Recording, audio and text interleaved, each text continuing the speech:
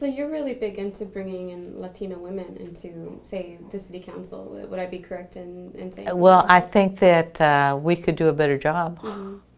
We're, we're certainly have proven that we're good businesswomen. Uh, we have a lot of good examples in our city.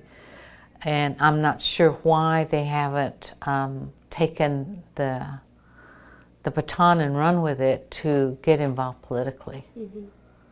Uh, not for lack of my trying. Mhm. Uh, Do you have someone in mind that you think that would, you know, work out perfectly for a city council position here in Fort Worth? Well, we had several that have run. Mm-hmm. You know, one of my neighbors, Margie Garza, ran for city council, um, and were not supported by the elected Hispanic officials. Uh, that would have been a perfect opportunity. Uh, we had um, people running on the school board. We've had Hispanic women, but and we have, I think, two Hispanic males on there. But out of out of what we're almost 30 percent in Fort Worth Hispanics. Mm-hmm. We should have a seat on every, and not not only in elected officials, but we should have a seat in the organizations that make a difference. You know, we should be on United Way. We should be on you know the chambers. We should be, you know, CEOs, or we should be sitting on boards of all these big organiz- big um, companies in this city.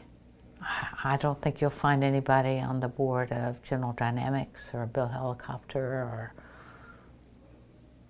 So, we're behind.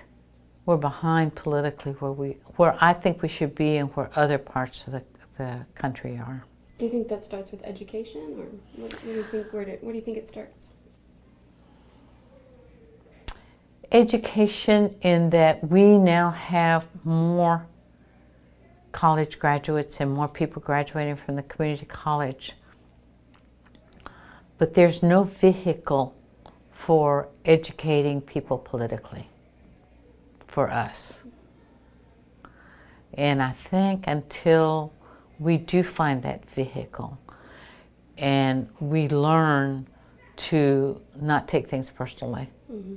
that you know we have to work together because to elevate all of us is going to be better for us.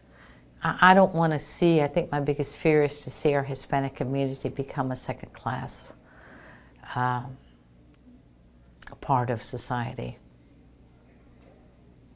And you know, we may raise, we may rise up to the level that we need to be at, but it's a very slow process. Mm-hmm.